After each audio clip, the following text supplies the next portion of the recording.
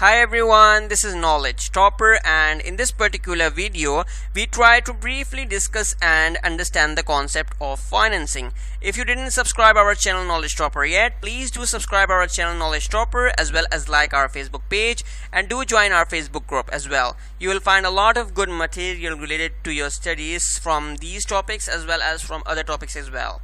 The links for Facebook page and group is in the description of this video. So let's get into this video. Initially, at first, when we look at the definition, it says that financing means asking any financial institution like uh, a bank or a credit union uh, or a finance company or any other person to lend you money that you promise to repay at some point in the future in other words you can say that uh, when you buy a particular asset uh, let's say you can assume that uh, you want to purchase a particular car and um, suppose that if you do not have all the cash for it uh, so you go to the dealer and the dealer will look for a bank for you that will uh, finance it for you.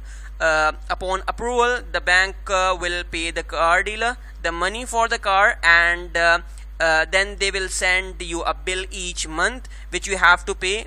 Uh, like uh, the bank will lend you this money if you agree in uh, to pay interest or you can say uh, a particular fee on top of that money uh, that is lent by a particular bank. Okay. So um, in other words you can say that financing is borrowing money with a promise to repay uh, that money and uh, some additional fee or interest over a period of time. Now, you may think that why do banking institution loan money to people? Uh, the answer is very simple. Like you can say that uh, uh, they want to earn a fee. These financial institutions wants to earn a particular fee, or you can say uh, they want to earn a particular interest for loaning out that particular money now for instance uh, assume that uh, someone could uh, borrow hundred dollar from a bank uh, from any particular bank uh, like for one year at a six percent annual interest rate. And uh, at the end of that year the borrower owes the bank hundred and six dollar.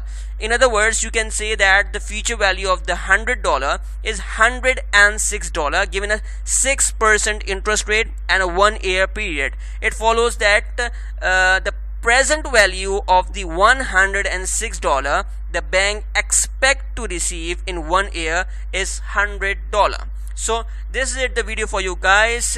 Um, hope you understand the concept the brief concept related to financing. If you like this video do subscribe our channel knowledge topper as well as like our facebook page and do join our facebook group as well. You'll find a lot of good material related to your studies as well as from other topics as well. So this is it for this video. Thank you so much everyone. It's time to say bye bye